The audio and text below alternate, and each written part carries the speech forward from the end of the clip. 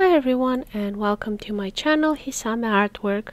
In this video I'm going to show you guys how to better organize your brushes in Clip Studio Paint because I know it can get a little bit uh, messy. And uh, so I'm hoping this will help you find what you need better and kind of sort out your uh, software. So kind of like your desk. So it's easier for you to uh, get around in this program because it is a pretty complex program and it has a lot of neat features that you don't find in Photoshop and definitely not in other um, simpler programs. And those programs have their purpose as well. You know when you're starting out a lot of people tell me that they prefer to paint in paint ms or uh, krita or um, uh, Paint Tool Sai or Inkscape or things like that. And with time, if you want to do this professionally, um, you might want to switch up to more complicated programs that offer you more features. So with that said, let's get into it. So if you want to rename a brush, uh, you just right click on it. Whenever you right click on something, it will give you submenus. And let's say, for example, I have a watercolor brush that resembles um, kind of hair. It's a pretty basic brush in uh, Clip Studio Paint. Uh, with time, as you get better at this, uh, you'll probably go into the asset gallery and get better hair brushes. Uh, I have shown you how to manage the asset gallery and go and download things and stuff like that, so please go check out my older videos if that's something you're interested in. But for this video, I'm going to show you how you can do that. So I go to I um, the brush I want to rename I right click on it I go to subtool settings there we go and then I click and I will rename. And let's say I want to name this hair blending. And there we go. Now it is called hair blending. Now if the name is too long for you of course you can uh, cut out the watercolor part of the brush so that uh, it's easier to see. Uh, for me, I'm gonna leave it with the default name just so when I need to explain something to you guys, I still have it uh, in the same name that you'll probably have it, so it's easier to find stuff. Now if you click undo, that's not gonna change the name of the brush, it's just gonna affect your work area. So if you wanna rename it something else, you just go in retype and there you go. Now if you want to move your brush somewhere else uh, you just have to drag and drop. For example let's say I have uh, this uh, India ink uh, watercolor brush. It's called bit husky. This is how it is. And let's say I want to move it in pens for whatever reason. I just drag and drop and there it is. And it actually created a new tab for me. Uh, which let's say I want to uh, move it in uh, pens. I just drag and drop and there it goes into pens. Now Bit Husky is no longer a watercolor, it went into pens. If I change my mind and I move it back, drag and drop as well, it created a separate tab. I'm dragging and dropping it back into India ink. And that's how you do it. Now, for example, if you want to create a new uh, subtool, there are two or more ways you can do that. Uh, main way is, uh, let's say I duplicate the subtool, name it test brush to delete later so I don't have uh, duplicates. I remember why I created this. And uh, of course let's say you wanted to have other uh, attributes you can go in here and edit these. I'm not gonna get into it at this point but um, I will in a later video. Let's say I want a combination of these two and as you can see it looks a bit different in how it behaves and that's how I've created this new brush Another way you can do it is create um, a new subtool. It usually just duplicates the one you have. It's uh, best to kind of um, get one that is similar to what you want. You can also go from there and create custom subtool in general it will do something similar to what you have. So like I said again best to start with something that is closer to what you have in mind. It will be like less editing to do. And uh, Clip Studio Paint comes with a lot of interesting basic brushes that you can use to uh, create new brushes now, uh, if you want to delete a brush, let's say you're unhappy with it or something went wrong or you no longer need it, whatever the reason, if you want to delete, you just select it and either click this trash can here or say delete subtool. Do you want to proceed? Yes, delete it. And that's how you delete.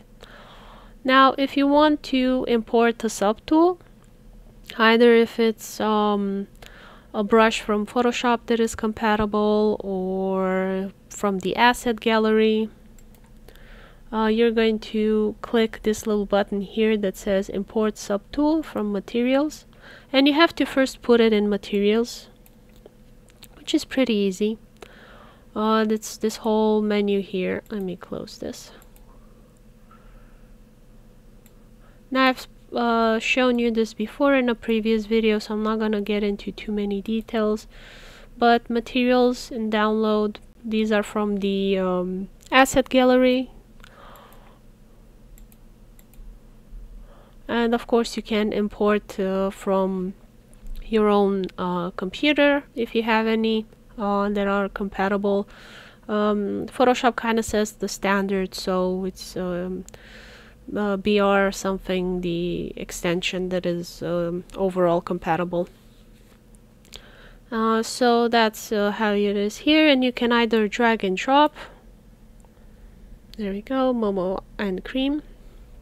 Or you can click the import tool and maybe it's easier for you to see here. And also you have like tags. And um, if it's easier for you to organize you can with these Okay, let me delete that. Here we go. Close this.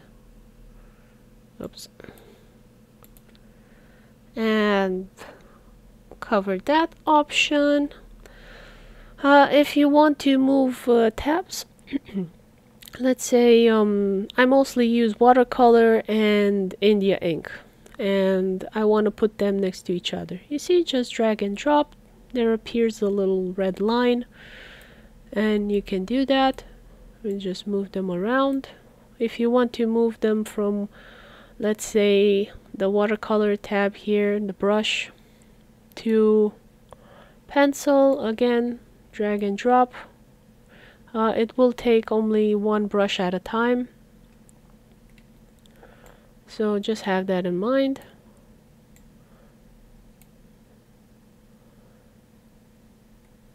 Okay where did I put it? Okay and uh, I'm getting confused in all of these tabs. Like I do like the tabs because um, it's easier to kind of set the brushes. In Photoshop is just one long continuous scroll line I have to do and it kind of gets confusing. So I kind of like it more in Clip Studio Paint. And uh, let me move it back into watercolor so that I don't uh, mess things up. There we go. It's back. Uh, if you ever mess it up too much and you get too confused you can always reset the whole tool thing. So there's always that option fortunately. And like I said if you want to create a new tab you can just make you know a new brush. Test brush and let's say I put it in here and I got this test brush. It's a whole new tab. Settings of subtool group test brush and I can make like my own test brush 3 my own set of brushes. Test brush. Okay and I have one two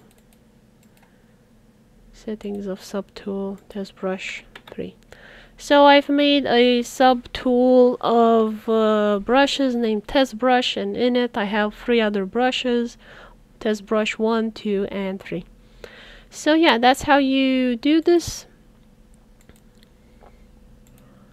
Yep and you delete it. There we go. And if you delete all three of them uh, you delete the subtool menu. So yeah hope this has answered your questions in regards of how you can organize. Uh, this is a really neat feature in my opinion. I'm really glad that Clip Studio Paint has it. Uh, definitely makes it more easier for me anyway to see all of my uh, brushes. Here I've gotten a bit uh, crowded with all of these brushes and it's harder for me to kind of see uh, what brushes I have in there because when there's less of them the image usually is like a little bit bigger. Of course you can always adjust these things. And there are a lot of options you can work around with zooming in and things like that. Um, if you're having like eyesight problems for example um, I'm nearsighted so I generally have to stay pretty close to the um, computer screen to see what I'm doing. But when I have so many menus and tools I kind of need to get a bigger screen and then I'm a bit further. So I kind of like to uh, zoom in on certain things so that I can find them easier. And uh, to try and stay organized so that when I want to switch between uh, tools it's um, faster. And of course you can make your own um, uh, subtool uh, here you can add like a different uh, brush um, container kind of like in PaintStorm and you can name it my favorite brushes and just move let's say you have a favorite pen a brush you have a favorite pencil brush and two favorite um, watercolor brushes. So you can just collect um, those common brushes that you use very often into one container kind of like if you had like a glass or a mug on your desk and you had like your favorite tools there. Even if you have as an artist a wall full of pencils and crayons and things like that if you have like a set of favorite ones that you use very often you can do that in um, Clip Studio Paint uh, I think easier than in a lot of other programs. And while still maintaining the whole uh, other library of uh, things that you need in case you want to switch between them at some point.